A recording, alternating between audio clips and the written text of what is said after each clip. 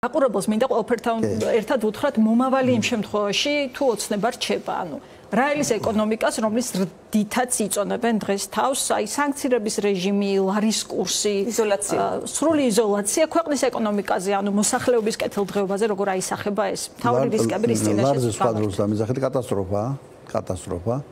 და ამ არჩევნებამდე ლარს არ გაოფასურებენ, ცოცავად შეიძლება მივიდეს დაუშვათ 2 და 76 და ასე შემდეგ დღეს აგერ გაყიდეს 50 მილიონი დოლარი. და მანამდეც ყიდიან და ყიდიან 10 მილიონობით დოლარს ათეულობით. და გონ მალავენ დღეს რატომ გამოიტანეს საჯაროდ არ ვიცი ამოდენად არჩევნებამდე ცდილობენ და სექტემბრიდან ოქტომბრის აი ამ 7 დღეში ზუსტიცის რიცხვი 25 ოქტომბერს იქნება სექტემბრის მაჩვენებელი და სამწუხაროდ ოქტომბრის მაჩვენებელი იქნება 25 ნოემბერს, ამიტომ მალავენ ამას მარჩენების წინ არ გაიგონ, მაგრამ კოლოსალური თანხებია.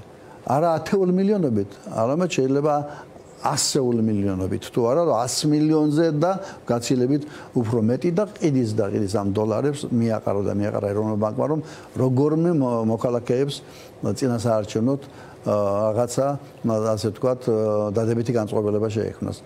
რა მოხდა, რა მოხდება არჩევნების მერე ეს ხელისუფლება რომ დარჩეს. პირველი თავიდან რომ ამბობდი, საალტო ფონთან ურთიერთობა გაფუჭებულია, არავინ სტრაფ ინექციას არ მოგცემს. არავინ არ ყავს მეგობარი არც ერთი სახელმწიფო გარდა რუსეთისა.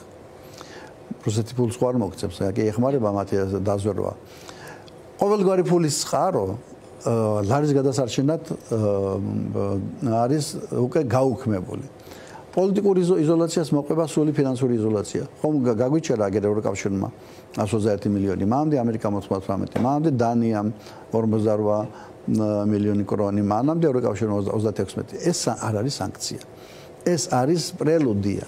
ასე ვთქვათ, წინა სასანქციო პერიოდი, რომელიც ასეული მილიონობით გვიჟდება. როგორც კი ეს ხელისუფლება გაყალბების გზით სხვა შანსი არ არსებობს დარჩება ხელისუფლებაში მომენტალურად დაიწყება უკვე სანქციები. ივანიშვილის წინააღმდეგ ამას მოყვება უზარმაზარი შიდა თუ საგარეო პრობლემები, იმიტომ რომ ამას ბანკებისთვისაც იქნება. რა თქმა უნდა, ამას 7 მილიარდი აქვს. აგზოგერ ბანკსა და დაადგებიან და აიძულებენ სანქციების ინვესტორი საერთოდ აღარ გაეკარება. რომელი ინვესტორი ინვესტიციები დაიცლება, აგერ ქართულს ამოუვა, ქართულ ბანკს, ქართულ მას ლიბერტის ამოუვა, სადაც თელი საპენსიო ფული იქ ინახება, ლიბერტი ბიზნეს პარტნიორია ბიზნეს ევანიშვილის თან 100% ცემენტის ასე ვთქვათ წარმოების ამ ათეკუთნით რაც არის საქართველოს და ბევრი ბევრი სხვა და ამას დამატებული ის რომ შეჩერდება არა მარტო სახელმწიფო პროგრამები, არამედ შეჩერდება კომერციული პროგრამები.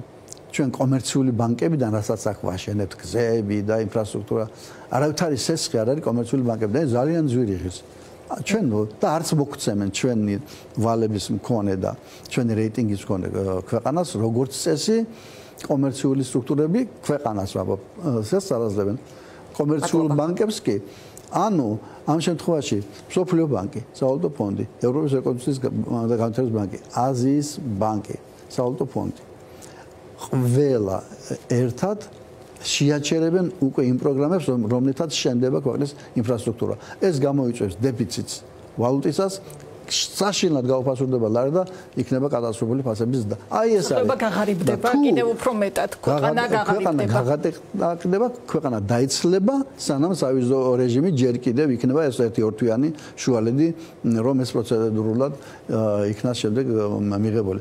მოკლედ თუ ამას ვერ ხედავს ქართული ოსნების ამომრჩეველი რომელიც რატომღაც ჯერ კიდევ თუ არის პირადი ინტერესებისაც ვისაც აქვს გასაგებია, მაგრამ მოტყუებულებს არიან რაღაც ომით აშინებენ. უნდა გამოფხიზლდნენ.